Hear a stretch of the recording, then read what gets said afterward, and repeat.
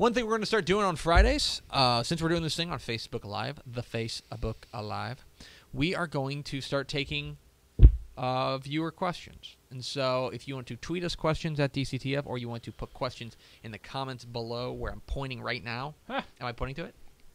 yeah, sure. Why not? Okay. I don't know. Um, so if you want to ask those questions, you can let us know, and we'd be happy to answer them on the air. We've got a few of them that have come in this week. Uh, Max, what's our first question? Should the UIL have instant replay at the state championship games? So this is an interesting question because obviously the thing that stands in the way of instituting uh, instant replay in high school football games is that not every game is televised. Right. It makes a lot of sense that there is instant replay in the NFL. Every game's on TV. There are 500 cameras at every game. Uh, even to the even at the point in college where Yeah. there are cameras at every game that they can they've now instituted that there are cameras at every game whether or not they're televised or not 99% of college games are televised at some point or on on some level so they have the replay capabilities the biggest issue is that at high school if when we were out in Diana Texas Right. Diana Texas ain't going to have uh, ain't going to No. have television coverage Yeah. and they're probably going to have one camera and that camera is probably going to be in the end zone it's going to be the coach cam that that they get their film from the all 22 so the question is at the state championship games which are happening at AT&T Stadium in December all the games will be televised by Fox Sports Southwest Right. so they will have the NFL treatment which is one of the things that makes it so cool. In fact, I think uh, in a couple of years ago, and I think they had it last year, they brought in like the what what do they call the spider cam, Yes, the one that's like uh, on the yes. wires. That is so cool. Every time that's every time I see that, that's one of the things that like one day I'll grow up and I won't be impressed by that, but that day ain't today because that's Right. really awesome. It's pretty cool. Yeah. so the question is, now that you have all these cameras around, Right. can you or should you use instant replay? I say no. Okay. The reason is that we want to treat every Texas high school football game the same. And if we start getting to you the- shouldn't treat the championship game as more important. and if we It get- is the championship game. and if we get to the state championship game and we start changing the rules, then to me that uh, expresses a deep kind of philosophical difference that I have um, as far as treating everything the same. So I would say no. I don't want to. I don't want to start. I want to get to the most important game of the year and then start changing the rules. I think that that's. I think have that's a, that's a bad absolutely zero issue with making sure the state title game is more important and is handled more importantly. Uh, Westlake fans would like a word with you because they lost on a play that was not a touchdown to Euless Trinity just a few years ago. And if it had been reviewable, it would have been clear that it was not a touchdown catch. All right. So who did who did Westlake beat in the semifinals that year? Do you know? Hmm. You don't know? No. Do you think that that semifinal team would like uh, instant replay in their game? No.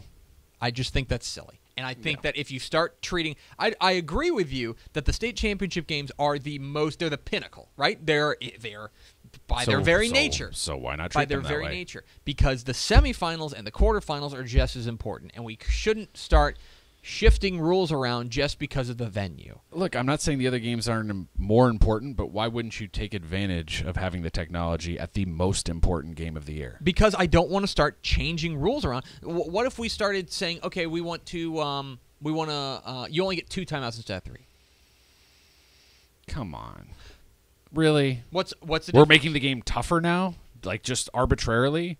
We're just trying to make sure that the right result happens. I just I just think that when you get to the state championship games, there's no reason to ask them to start changing rules. I think one challenge per half. I keep it in your back pocket in case something like the Euless Trinity thing I happens totally again. totally disagree. You're totally disagree. wrong. What's but that's next? okay. Uh, this is actually good. We've talked about this a little bit on on the podcast already, but it's probably worth bringing up again. Right? Could the Mm-hmm. Friday and state, uh, Friday and Saturday state finals start earlier or finish earlier? What What are some solutions to make that happen? Because you know, So we- yeah, we it- talked about Thursday Exactly. already. With Thursday, the big issue is last year the Waskom Franklin game started at 10:45, 10:30, 10:45. We were out of there at like one. That's Mm-hmm. That's crazy. too late. It's That's crazy. too late. So your suggestion there was obviously let's start the games earlier. We're not going to this yeah. year. We found out the schedule says we're going to start at 10 a.m. just like last year. We're going to 10 1 5 and 8. Yeah. and that last game's not going to get done until one in the morning. Yeah. It's just what's going to happen. Now, I have a solution that everyone's going to hate. Okay, so but the, these, to be Yeah. clear, so Yeah. everyone knows in advance, these start at noon. These are new. Yeah. The- in, in these days, first of all, these aren't as big of a deal. Right. That because it's noon, four, and eight, and there's four hours allotted Right. between starts of games. Right.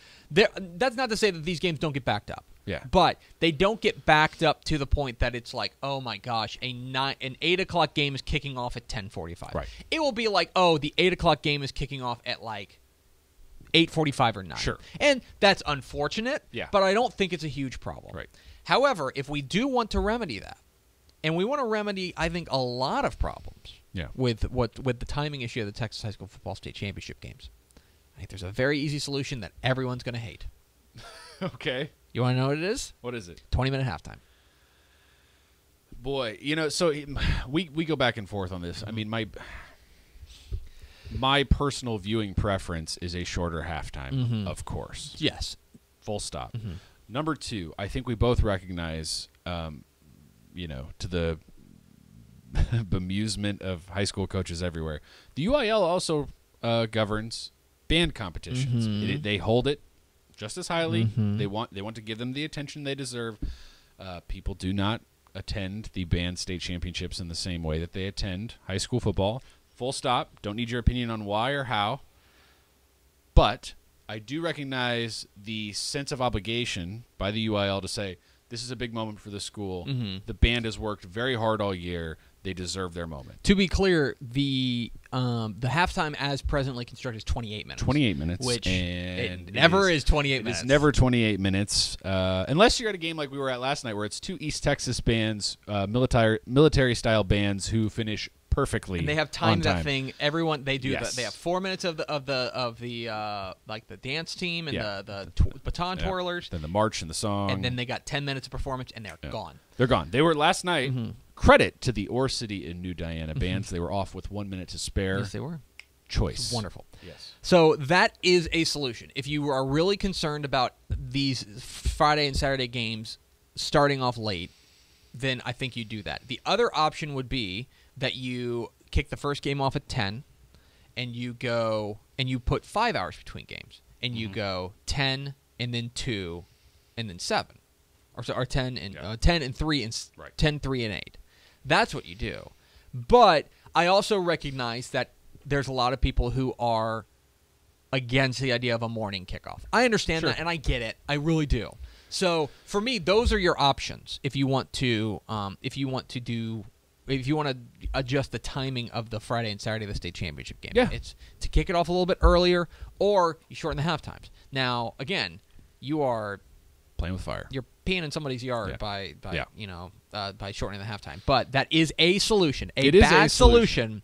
but a, an admittedly unpopular solution, but a solution. Do we have any other questions? We do. We have uh, William Dyson in our Facebook comments. Oh, interesting. submitted- Yeah.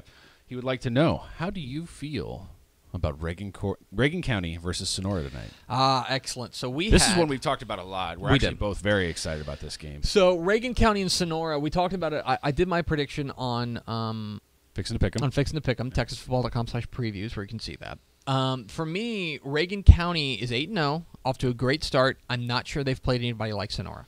Right. And so for me, this is a big, important game for them. They get them at home. There's people saying that people, many people are saying, many people are saying, And Sonora is the traditional power Of out course. here. Let's let's let's let's put that established out there for people who don't know. Yes. Yeah. Uh, Sonora is the Sonora is the um is the established power. Yeah. They're the team that's played for titles. They're the team that's won titles. This is the pride. This is the pride of that area. Reagan County is the new kid on the block. They are Yeah. the they are the team that's never had really had this kind of success out of Big Lake. Um, and so I wonder can they come you know can they come up with a win? I'm picking Sonora. But I do think that Reagan County is going to have a great shot to win this game, especially uh, you know because I really truly believe in in what uh, in in kind of the I, I believe in their offense. I think that Yeah. their offense can can hum. I think their offense has what it takes uh, to really do uh, make some uh, make some plays in this one. Their quarterback L.J. DeLeon and their running back Carlos Del Rio have been great. I like Sonora in this one. I think that they're a little more battle tested, but I will tell you that if Reagan County wins this game, I am fully I'm putting on my little my little owl beanie and my little Reagan County pom poms, and I'm waving them on. I'm on the bandwagon fully if they beat Sonora Yeah, tonight. think so, so. That's right. uh, that's what I've got. Any other Okay- questions? Oh, dude, we're getting tons of questions now. Oh my God. Yeah. So, thoughts on Ah. the Canyon Eagles, which I think is good because we can plug our uh, our interview Yes. earlier earlier this week. We talked with Blake Bryant, the head coach of the uh, the Canyon Eagles, a little bit earlier. They got a big game this week against Dumas, another unbeaten, another Dumas team, uh, or another unbeaten team that I think is in for their biggest test yet. Um, for Canyon, it's all about their quarterback, right? It's all Yep. about Gunnar Palacios, who's been so good Right. for them, and their linebacker Dane Douglas. Yeah. Uh, those are their two superstars. For Dumas, they're very quietly unbeaten, and it starts with their defense. Derek Ditto, their linebacker, has been fantastic. So for me, this game comes down to whether or not Canyon can move the ball against Dumas. This, Yeah. I think the onus is on this Canyon offense to get past the kind of wall that nobody has been able to get past Yeah. with this Dumas defense. I like Canyon in this game. I think they've got the uh, the sing, the two best players in this game in Palacios uh, and Douglas, but I think this game is close, and I think that the Canyon defense would be well, you know, would be. Um, I think it's important for them to stand up and, and make their presence felt as well. What's right. next? Who do you think takes 4A D1 Region 1? This is from Julio Garcia. This Wow. is a good question because uh, Wow, it's it's very deep cut. look. Okay. I think we're both going to agree that we feel like Argyle is the favorite, Yes. correct? Uh, Yes. Until someone knocks them off the mountain, that feels correct. However, I do feel like it's pretty wide open behind them. I right? do, I do. So four, well, it's four A D one Region One. Yes. All right.